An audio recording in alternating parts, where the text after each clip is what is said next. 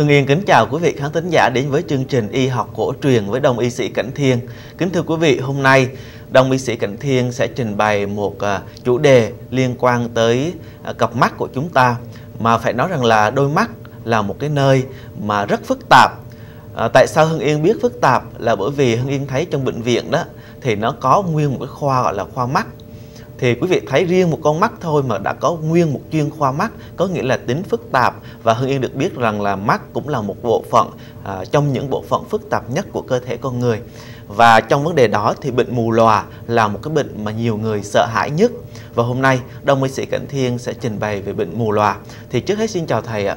À, chào Hưng Yên. Dạ thưa thầy, hôm nay bệnh mù lòa thì nhiều nguyên nhân lắm. Thì hôm nay thầy trình bày về nguyên nhân gì ạ? À, vâng, hôm nay về cái phần đông y của chúng tôi xin trình bày trước quý khán thính giả về bệnh mù lòa do thoái hóa điểm vàng, mà Tây y gọi là hoàng điểm.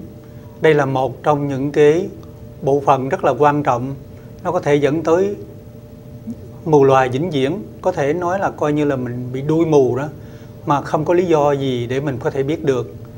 Thì theo y học hiện đại nói cho biết rằng thoái hóa điểm vàng, tức là hoàng điểm, là một trong những cái điểm quan trọng hầu hết là những người bị bệnh về vấn đề mắt có liên quan đến vấn đề điểm vàng này. Dạ vâng, kính thưa quý vị, chúng ta thường nghe nói rằng là à, mù lòa do đục thủy tinh thể mà ra. Rồi tới bây giờ là tới cái vấn đề điểm vàng đó thì thực sự là nếu một người bình thường thì không biết điểm vàng là điểm gì. Nhưng mà đại khái là cái hoàng điểm là cái chỗ nào thưa thầy? Hoàng điểm như chúng ta biết là mắt nó có chia ba bộ phận. Một là mống mắt bên ngoài, cái thứ hai là thủy tinh thể, cái thứ ba là một cái vết ngăn ở trong. Vết ngăn đó là cái sự phản ảnh của hình ảnh. À, vết ngăn này nó có những cái nụ nó ngụ nụ thần kinh. À, nó có thể lỗ chỗ mà chúng ta thấy như một tờ giấy nhám. Nó có thể bắt ánh sáng và nó tụ lại ở đó xong đó uh, phản ánh trở lại để cho con mắt mình thấy được cái hình ảnh đó. Thì cái đó nó gọi là trung tâm của điểm vàng. Dạ vâng.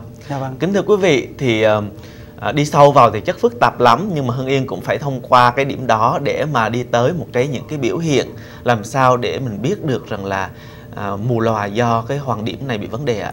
À, nó có một số dấu hiệu để cho chúng ta biết được rằng đâu là cái nguyên nhân của cái bệnh mắt và đâu là nguyên nhân về bệnh mù lòa do thái quá điểm vàng thì có những dấu hiệu như là nó có những triệu chứng đầu tiên được uh, biểu thị bởi những vấn đề khó thích nghi với thay đổi ánh sáng tức là bị chói mắt thí dụ như bây giờ con mắt của chúng ta đứng trước ánh sáng à, đèn như thế này, chúng ta thấy cũng bình thường. Nhưng bỗng nhiên có ngày kia chúng ta thấy là con mắt nó bị chói, mà với ánh sáng dịu như vậy cũng bị chói và chúng ta phải nhắm mắt trở lại. Đôi khi chúng ta cảm giác là trong con mắt nó bị đau, mà không có lý do nào để có thể diễn dịch được rằng tại sao con mắt mình phải bị chói và bị đau. Đó là dấu hiệu đầu tiên cho thấy rằng có nguy cơ là thoái hóa điểm vàng đã xảy ra. Dạ vâng. Kính thưa quý vị thì à, chúng tôi tạm gác lại những cái nguyên nhân sâu xa theo phía luận điệu của Tây y mà chúng tôi đặc biệt đặt câu hỏi cho Đông y sĩ Cảnh Thiên về cái nguyên nhân gây ra bệnh này theo cái quan điểm của Đông y thưa thầy. Dạ vâng. Đứng về mặt Đông y thì à, Đông y xếp vào cái loại thoái hóa điểm vàng tức là mù mắt là do can thận lưỡng hư. Tại sao gọi là can thận trong khi con mắt đâu có liên quan gì đến gan và thận đâu. Nhưng mà theo Đông y đó thì như thế này, bởi vì theo chức năng đó, thì đông y lý luận rằng can nó tàn huyết, tức là giữ và cung cấp máu để cho mắt. Can hư thì máu không tới hoặc là không đủ cung cấp cho mắt được. Đó là lý do thứ nhất. Con người mắt thuộc thận thận hư thì hay chảy nước mắt hoặc là thị lực giảm hoặc là mù tự nhiên như tuổi già. Do đó muốn phục hồi thị lực, tất phải dùng thuốc hoặc là chăm cứu hay là dưỡng can thận. Đây là vấn đề đông y đã chữa bệnh từ xa. Thay vì Tây y thì chữa bệnh ngay con mắt để có thể cải thiện được tình trạng của thị giác nhưng mà đông y chữa cái nguyên nhân có nghĩa là hai cơ quan quan trọng cung cấp tất cả các điều kiện để cho con mắt được sáng thì đông y thường thường nhắm vào hai cơ quan gan và thận để chữa. Dạ vâng. Dạ vâng. Cảm ơn đông y sĩ Cảnh Thiên. Kính thưa quý vị thì chúng ta cũng quay lại à, cái cơ quan mắt một chút đó thì à, à, nếu mà chúng ta thấy cái ngoài cái khoang mắt ra còn có hưng yên cảm thấy là khi mình chúng ta ăn à, mổ heo mổ bò đó thưa thầy ừ. thì cũng như vậy phải không thầy? Đã cũng có một khoang mắt và cũng có một khối cầu.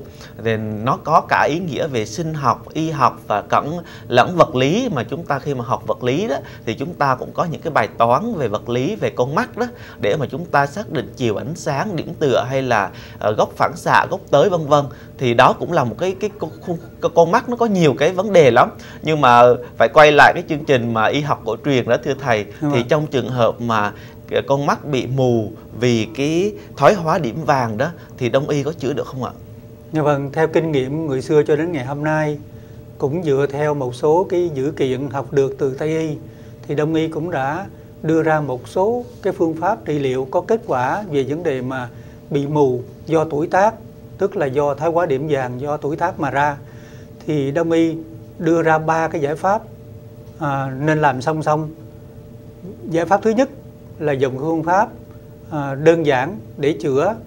Phương pháp thứ hai là tổng hợp để chữa và thứ ba nữa là dùng phương pháp bổ sung tức nghĩa là ăn uống sao cho nó thích hợp. Về vấn đề mà dùng phương pháp đơn giản để chữa thì đông y có đưa ra một số cái dược liệu à, để chữa về bệnh mắt chẳng hạn như là thạch quyết minh tức là ốc củ khổng. Dùng cái phương pháp là 30 gram mộc tạc thảo 30 gram hai cái vị này nấu nước uống hàng ngày cái giải pháp thứ hai là cũng là đơn giản dùng tan diệp tức là lá dâu 15 gram và thích tật lê 12 gram thảo quyết minh 15 gram thỏ ti tử 20 gram nấu nước uống mỗi ngày một thang uống liên tục 2-3 tháng như vậy thì tình trạng thị lực của mắt sẽ được cải thiện Dạ vâng. dạ vâng. Kính thưa quý vị thì à, đó là một vài cái cách nhưng mà còn một bài thuốc nào mà ít phê hơn không ạ?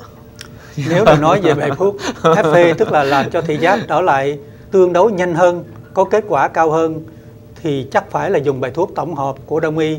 Đông y dùng phương pháp can thận đồng bổ.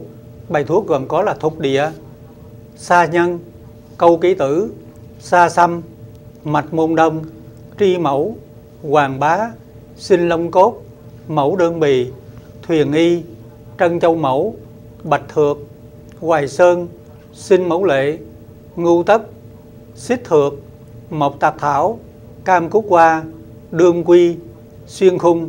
Đây là bài thuốc rất nhiều vị bởi vì tất cả các vị này đều nhập vào gan và thận cho nên nó gọi là can thận đồng bổ thì như vậy nó sẽ tạo ra cái nguồn cung cấp máu mới thứ hai nữa tái tạo các mạch máu ở trong mắt bị hư và giúp phục hồi lại được cái điểm vàng thì đó là ba cái mục tiêu mà cái bài thuốc đông y tổng hợp này đã chữa khá là thành công trong thời gian qua.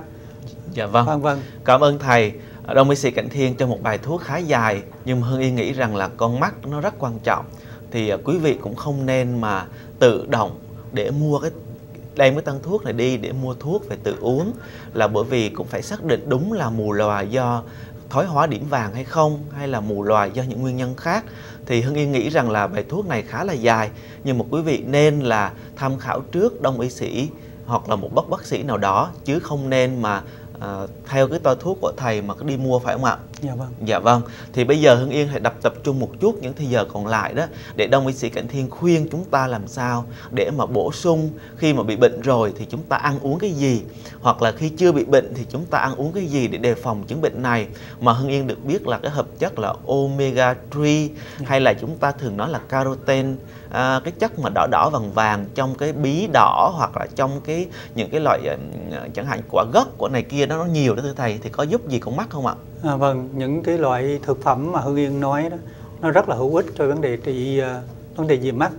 Tuy nhiên ở đông y chúng tôi thường thường dùng và cũng khuyên là các bệnh nhân đi nên dùng nhiều cá hơn là thịt.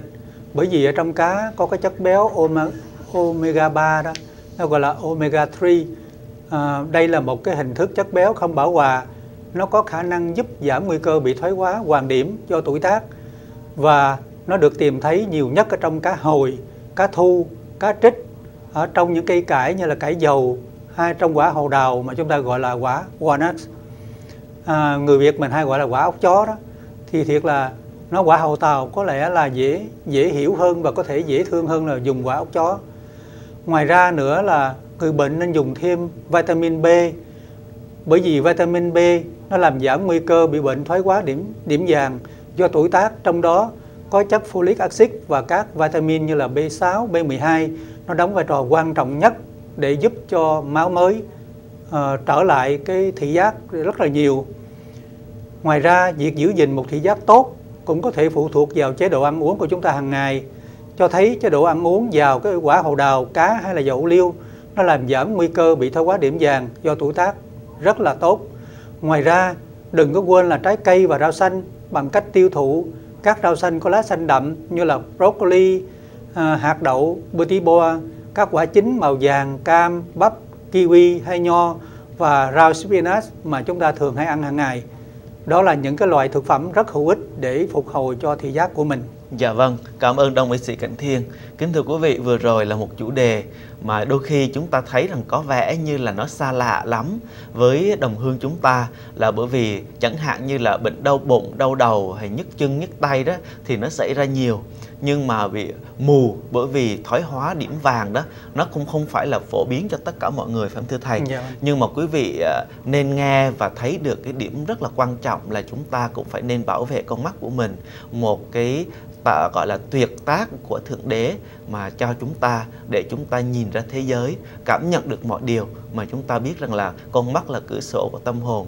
À, không chỉ là cửa sổ của tâm hồn nữa mà nó giúp chúng ta à, thấy được mọi thứ của thế giới này và chúng ta làm sao khi mà à, chúng ta tưởng tượng một ngày nào đó à, con mắt của chúng ta không nhìn ra thế giới được nữa thì quả thực là một điều bất hạnh tột cộ và Hưng Yên không có gì hơn xin cảm ơn quý vị và kính chúc quý vị luôn luôn có một cặp mắt luôn luôn trong sáng và luôn luôn nhìn rõ được thế giới xung quanh ta. Cảm ơn thầy đã tham gia chương trình Dạ. và Hưng Yên xin chào tạm biệt. Hẹn gặp lại quý vị trong chương trình lần sau.